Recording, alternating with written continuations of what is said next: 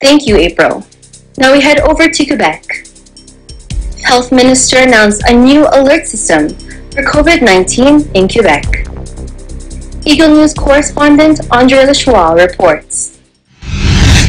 Quebec Health Minister announced a new alert system for COVID-19 in Quebec and stiff fines will be implemented in some region in Quebec to people not wearing their mask in yellow zones. As Quebec is preparing for a second wave, more measures will take place in yellow zones in the province of Quebec. With more stiff fines will be implemented, Quebec Minister François Legault says in the provision of a second wave, the government of Quebec will take action and decisions in the next months to come. I do not accept the fact that some people get together and some have the virus and take that risk without social distance, without people knowing about their health or having COVID-19, says Legault.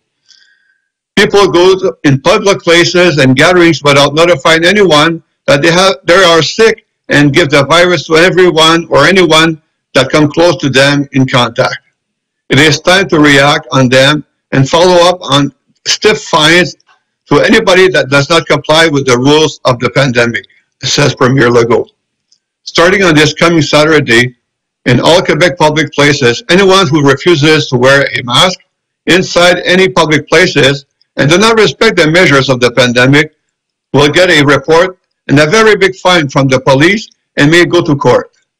Those measures will be applied, especially in the yellow zones, with more severe in closing some of the bars and area with no social distance. It is time to be more vigilant and not to keep our guards down, says Premier Legault. Nobody wants to go back to become fine like we did in last spring. That is why I have to prepare a new system to alert and intervene in some of the region with four levels to follow they evaluate on each case depending on the COVID situation in the region. Minister Legault says that we are responsible of our actions to not to go around and spread the virus in the communities and at home, says Premier Legault. This is André Lajoie in Ottawa, Canada. We live an interesting time.